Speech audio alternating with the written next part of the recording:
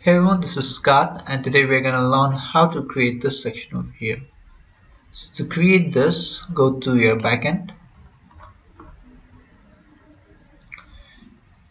create a custom link. This I'm going to add the Facebook icon.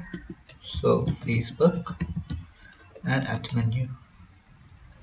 I also have a Twitter, so detail to add Twitter and add menu so we also have a search bar. So I'm gonna add a search over here. And add the menu. So I'm just gonna place the search after contact. Now I'm gonna save the menu so that I have my uh, mega menu options. Now to configure a search bar go to search general settings uh, disable the menu text um, so menu icons. Then you'll find menu replacement settings go here and select this as a search type. Paste one of these codes here and save changes. Then go to your icon settings search for a search icon check and save changes. Make sure you have enabled show menu icon and uh, disable the menu text and selected this paste the code here. So the next thing is our Facebook. So I'm just gonna open it.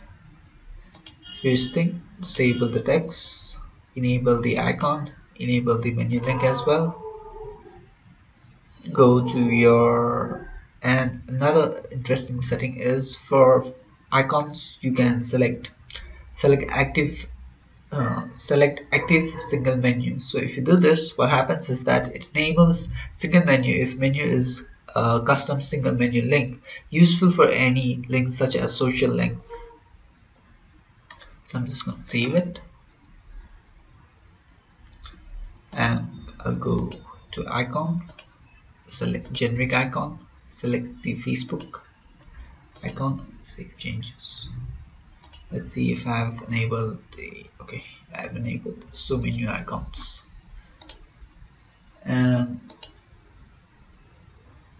for the Twitter I'm going to do the same thing general setting disable the text enable the icon uh, active menu link enable it activate single menu enable it save changes then go down to icon settings uh, generic icons select the Twitter icons and save. So uh, let's check. So let's check our front end.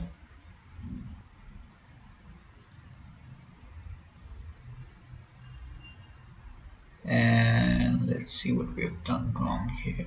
So go back to menu search. General settings. Yeah alignment. Let's set it to right and see if it helps. So so go back to vertical menu and so here we have it our search our twitter icon and our facebook icon so this was our vertical menu